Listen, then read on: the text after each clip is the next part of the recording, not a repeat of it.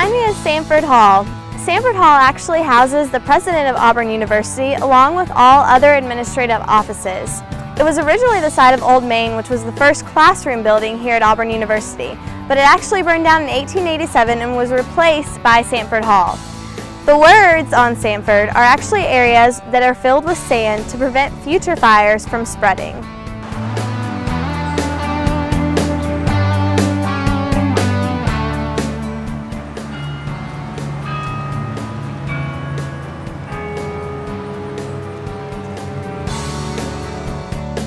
Right now we are up in the clock tower. This is a place where very few people actually get the opportunity to come. However, you can visit the downstairs lobby of Samford and you can see the original face of the clock and the clockworks on top of learning a lot of history about the clock tower. The clock tower originally cost $1,550 and it took somebody every eight days to come and wind the clock. Today, it's completely electronic. Now if you look out here, you can actually see all of campus from on top of the clock tower.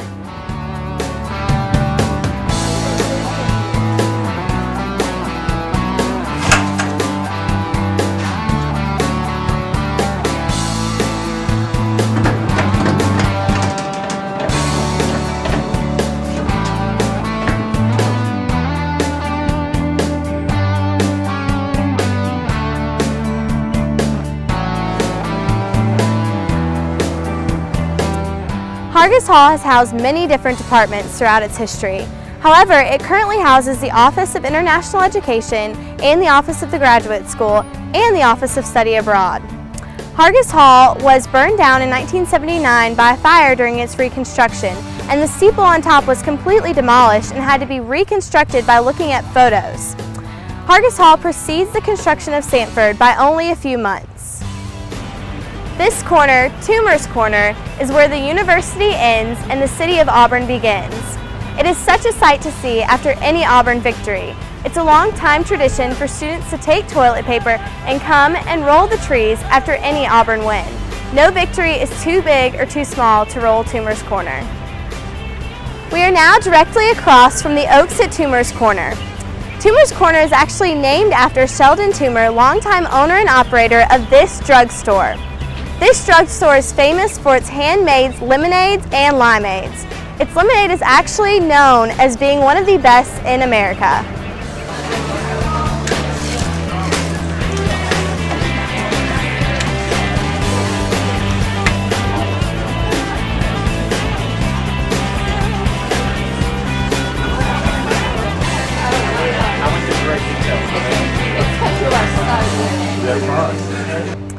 The Auburn University Chapel is the oldest building on campus still in its original location. Over the course of its years, it served as a Civil War hospital, a civic center, a YMCA, and has had many other uses. It is said that a Civil War veteran haunts the University Chapel because it has been used for other things other than worship.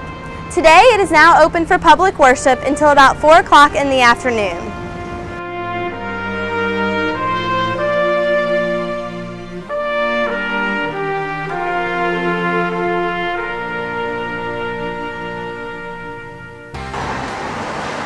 This is the Ralph B. Draughon Library.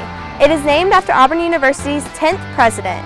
It was built in 1962 and is second in size only to the Haley Center here on Auburn University's campus. Now let's go take a look inside. The library holds 2.5 million volumes and has enough space for 2,500 students. It's been, it's been named by Princeton Review as one of the top collegiate libraries. I love to come and meet friends here to study. Hey guys! Hey chair? Sure.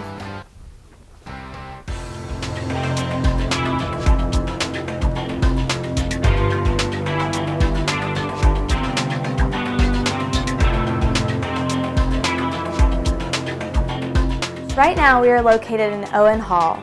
Owen Hall is in the lower quad. The lower quad actually consists of six residence halls and the upper quad consists of four residence halls.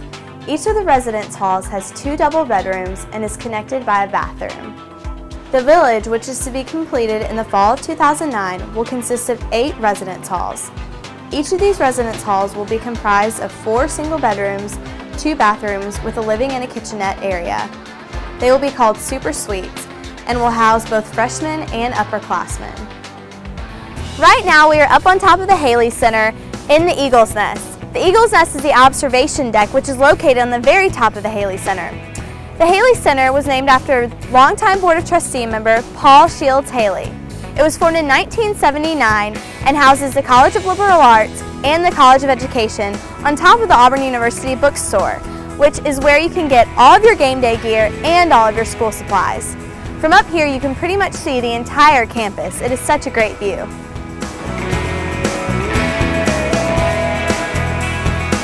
Right now, we are in the Auburn University Student Center, which was opened in the fall of 2008. I'm standing currently in front of the FOI information desk that has an internationally known number that you can call and they will answer any of your questions. It's been featured on the Today Show and on Oprah. On top of this, the Student Center also houses many different restaurants and venues, and great places to come and study and hang out with your friends.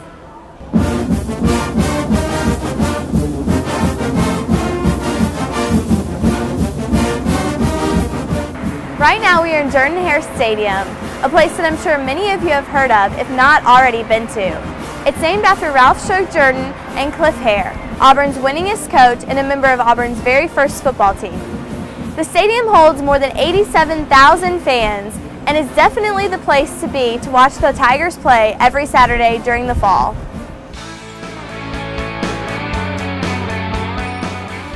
Right now we are sitting at the Raptor Center in the amphitheater where educational shows are performed. You can find out more information about these shows on the Auburn University website. Right now I'm sitting next to Nadira, a Saker Falcon who is actually in the conservation educational portion of the program.